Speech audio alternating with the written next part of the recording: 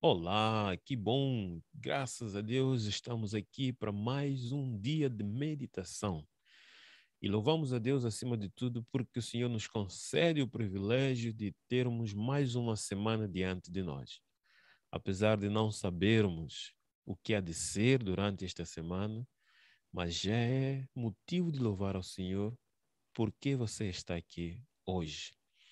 Fique conosco cada manhã cada dia aos pés de Cristo através da oração.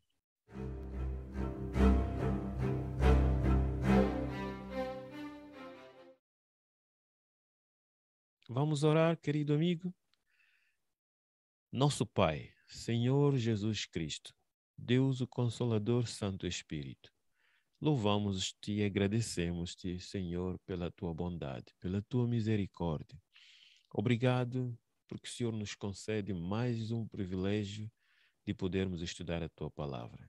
Ensina-nos, instrui-nos, para que possamos realmente ter uma disciplina de oração na nossa vida. Suplico e agradeço em nome de Jesus. Amém. O nosso tema desta manhã diz: e orar, como exercício e disciplina. Ontem nós falamos e vimos a história da Coreia do Sul e vimos como este país progrediu, como é que esse povo foi beneficiado com as bênçãos do desafio da oração diária, 365 dias. E eles têm uma disciplina na vida quanto à oração.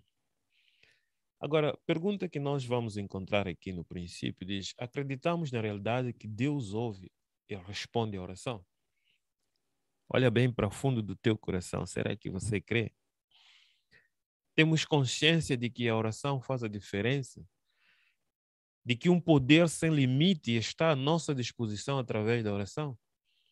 Será que sentimos uma necessidade autêntica de orar?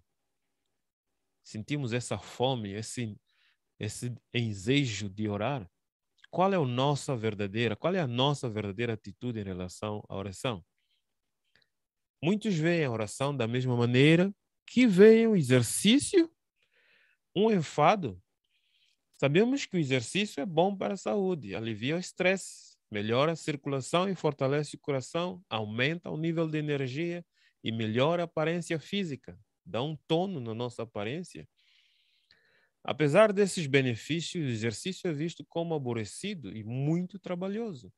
Começamos com vontade, mas depois de três, quatro dias, top. Isso já se passou comigo e passa comigo.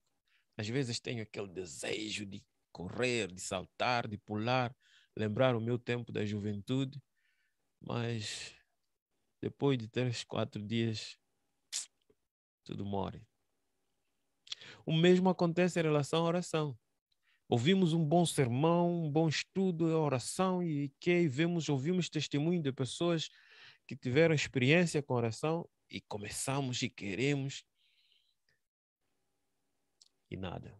Muitos sabem que a oração é importante e boa para a saúde espiritual. A oração alivia o estresse, aumenta a fé e fortalece o relacionamento com Deus. Mas apesar dos benefícios, veem a oração como algo difícil e cansativo. Vemos a oração como algo difícil e cansativo. Em relação ao exercício, há pessoas que o apreciam e praticam. Vão ao ginásio, nadam, caminham ou correm, andam de bicicleta ou jogam tênis, têm boa aparência e sentem-se bem. De igual modo, há cristãos que gostam de orar e até oram sabem que a oração pode ser compreendida como uma disciplina espiritual que nos faz crescer e nos torna crentes fortes. Queridos amigos, um dos dons ou fruto do Espírito é o domínio próprio, disciplina. E muitos de nós ainda não alcançamos essa disciplina, esse domínio próprio. Veja, e esses que dedicam esse tempo em disciplina da oração aprendem como fazer a oração na sequência apropriada, né? adoração, confissão, agradecimento e súplica. Podemos dizer acas ou acas, não sei como seria melhor expressar. Depois, preocupados com as regras de oração, esquecem depressa sua razão espiritual. Né? Esse é um dos problemas que às vezes acontece quando nós começamos. Ah, aprendemos, estudamos, ah, então agora é o processo de oração, é, vamos fazer acas, oração, confissão, agradecimento e súplica. E ficamos nessa rotação, nessa rotatividade. Queridos, frustrados desistem de orar por não serem disciplinados. Muitos fazem isso. Eu sou um deles também. Note bem, a disciplina é boa, os métodos e as fórmulas também. O perigo está em cair nos estereotipos, orar sempre na sequência acas, confissão, adoração, por aí fora. Logo ao acordar, ou antes de tomar o banho, ou antes de tomar o pequeno almoço. Se não estou 30 minutos em oração, fico frustrado. Mas não é esse o objetivo. Estes são alguns dos conceitos negativos sobre a oração. A oração não tem a ver com duas horas que você passe de joelho, seguindo uma regra, nem com cinco minutos que você passa de joelho, seguindo a mesma regra. Não. Queridos amigos, o nosso problema é que temos meditado sobre a oração, lido sobre a oração e até tivemos cursos sobre a oração, mas simplesmente não oramos, não temos orado. Agora é o tempo de compreendermos que a oração é a fonte de todo o poder. Paul Yong-Shu diz isso. A oração é a fonte de todo o poder. E quando nós olhamos para os heróis do passado, a Bíblia não diz que eles passavam todo o tempo de joelho. Olha para os salmos, veja como é que o salmista começava as suas orações. Nem sempre era com confissão, nem sempre era com adoração. Ele variava a forma de conversar com o Senhor. E nós temos uma variedade de salmos que são orações e cânticos que até devíamos tirar exemplo de como passarmos um dia inteiro orando. Todos os servos de Deus têm horas fixas de oração. E nós temos exemplos disso. Um dos exemplos é de Daniel. Ele tinha hora fixa, três vezes ao dia orava ao Senhor. Mas não quer dizer que era somente três dias ou três vezes ao dia. Esta é uma disciplina importante para consolidar o hábito de conversar com o Senhor. Não é um fim em si mesmo, mas é o meio para atingir o fim. Qual é o fim? Estar com Deus, viver na sua presença e sob o seu controle.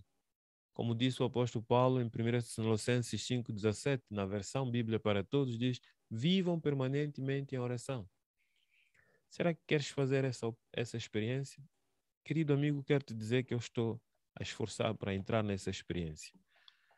Eu quero entrar nessa experiência e já comecei a entrar nessa experiência. Eu espero que você também obedeça o que o Senhor pede de nós. Se o meu povo que se chama pelo meu nome se humilhar e orar, e buscar a minha face e se converter dos seus maus caminhos, então eu ouvirei dos céus e perdoarei os seus pecados e sararei a sua terra. Estás desejoso de orar? Queres começar hoje a experimentar passar um dia em oração? Não é de joelho, mas manter a tua conversa em todo o tempo com Deus? Vamos orar. Amado Deus, Obrigado, Senhor, porque a tua palavra nos ensina e nos mostra a tua vontade. O Senhor quer que tenhamos uma disciplina. Nós muitas vezes não temos disciplina na nossa vida.